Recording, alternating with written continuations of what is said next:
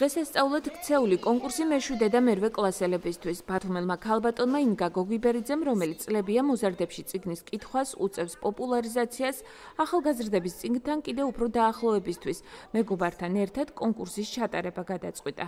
სწორედ გურამ გოგუასთან ერთად შეძლო წიგნზე შეყვარებული კონკურსანტების შემოკრება.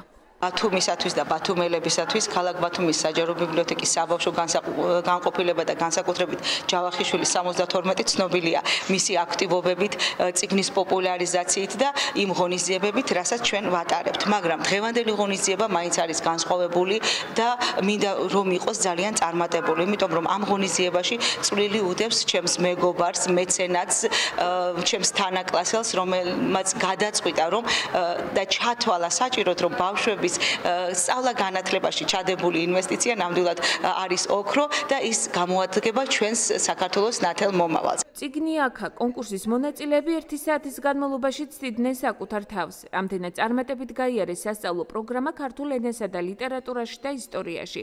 კითხვები სწორედ ამ საგნებიდან იყო დასმული, რომლებიც კონკურსის ორგანიზატორის ინგა გოგვიბერიძის თანამშრომლებმა საჯარო ბიბლიოთეკის წარმომადგენლებმა შეადგინეს.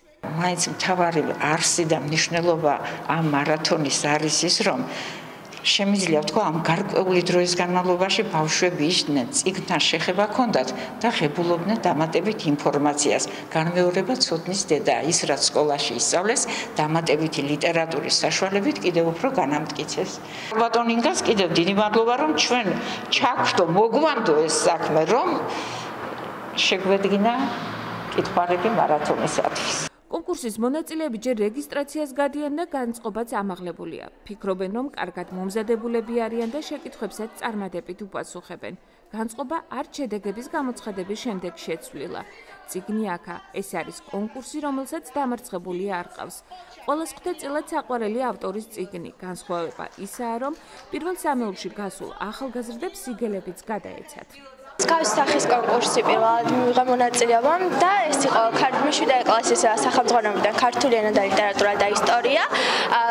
ჩვენ ეს პროგრამული მასალაც იყო ძირითადად გამოყენებული და არც ის ერთული იყო, მაგრამ ყველაფერი უნდა დავფიქრ და საფიქრებელი ტესტები იყო და შედეგით ჯერ არ გავიგო, მაგრამ ყვაყფილი ვარ. ტესტები არ იყო რთული. რა თქმა უნდა ძალიან ბედნიერი ვარ გავიმარჯვე.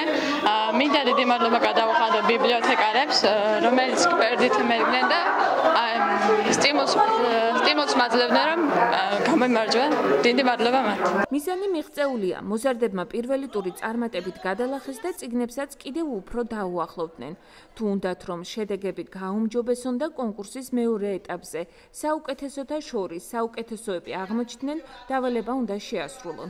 საფხულის განმავლობაში ის ციგნები უნდა წაიკითხონ, რომელთა სიაც დღეს გადაეცათ. სულ 15-მდე ციგნი. მთელი შემოქმედებითი ჯგუფი თulis რომ თუ ჩვენ ზაფხულის განმავლობაში მეშვიდე მერვე კლასელ ბავშვს მივიყვანთ ციგნთან და მას 10 და 12 ციგნს მაინც მივცემთ წასაკითხად და წავაკითხებთ, მაშინ ჩვენთვის ეს მიზანი უკვე მიღწეულია. ეს კონკურსი არის უბრალოდ დღესასწაულის სახე გვინდოდა რომ მიეღო ამას იმის დატვირთვა რომ აი შენ გაიმარჯვე და მე დავამარცხე, ეს არ არის გვინდოდა რომ ერთი ლამაზი დღესასწაული მოგვეწყო სკოლის დამთავრების შემდეგ მეშვიდე და მერვე კლასელებისთვის.